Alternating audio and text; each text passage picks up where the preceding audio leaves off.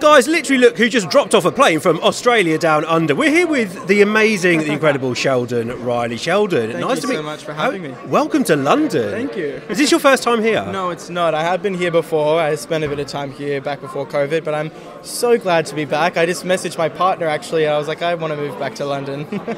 Oh, we'd be happy to have you. oh, thank you. So uh, you must be feeling a bit jet lagged and a bit knackered, but you've got this amazing show to do tonight. I do.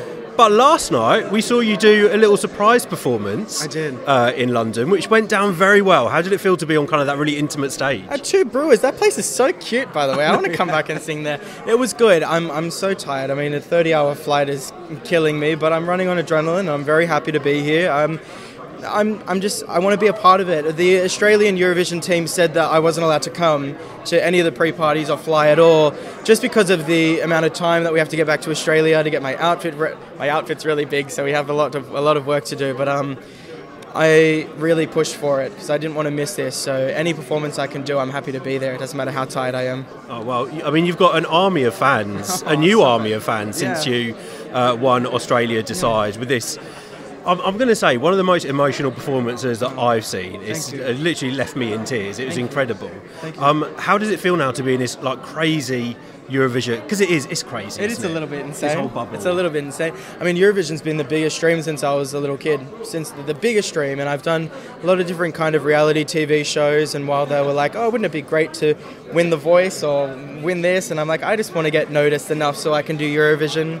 I mean, I'm, in, I'm an independent artist, and it's very hard to. I've never been with a record label. It's very hard to um, get Eurovision in Australia without the label and without the, the support because Eurovision is so big and my team is so small, but they know how much I want it and I've worked really, really hard. So I'm just so proud to be here. Even chatting with you, very, very excited. Oh, we're very excited to be chatting with you. It's been, a, it's, you know, we've been waiting a long time since you won.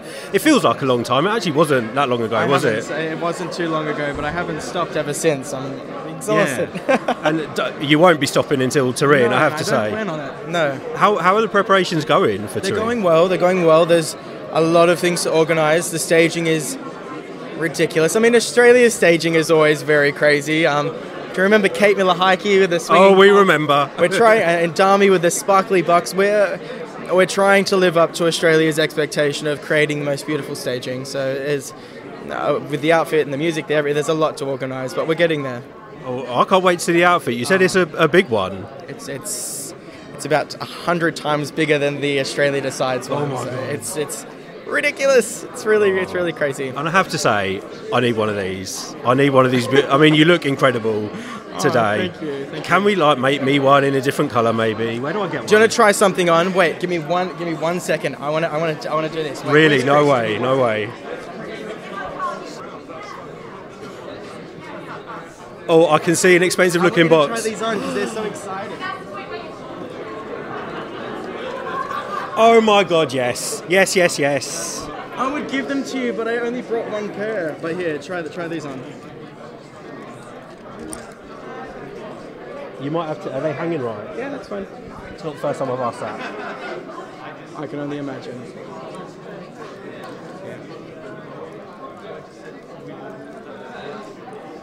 Swarovski crystal, they're pretty, right? There you go. Wow. Right, we have to get a selfie. Here we go. I'm going to finish the interview like this. Yeah. How do I look, guys? Woo! so we're very excited to see the outfit. I feel like I'm probably part of the Sheldon Riley team now. Oh, look at you go. um, but obviously the preparations are going really well. Um, I would need to ask though, what do you do to chill? Because this is a crazy bubble that you're in now. I don't chill. I don't. Would you I binge mean- Netflix or? Yeah, actually, yeah. I'm watching the Gilmore Girls at the moment. It's kind of my highlight. I love Gilmore Girls. Don't we all? No, I, I, um, I like to read. I don't know. I don't. I don't really have all that much downtime anymore. But um, yeah. I'm really happy though. I don't. I don't know. I don't. I don't need to chill out. I'm. I'm.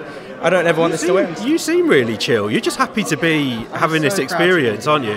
I mean, we were. I remember during COVID, I was um, locked up in our little area, and I wasn't allowed to leave for a very long time. So, even though I'm exhausted, I couldn't be happier standing here talking with all of you guys because it was a time where I couldn't. So, Well, we know you need to go and get ready for your show tonight now, but have you got a message for your fans before we go? Ah, I just want to say thank you so much. You're crazy.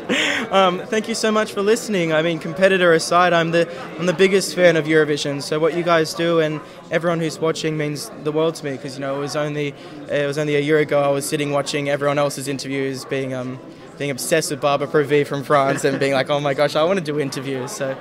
Yeah, Sheldon, we love you and we can't wait to catch up with you again. Thank you so much for talking to us. thank you so much for having me. See you guys.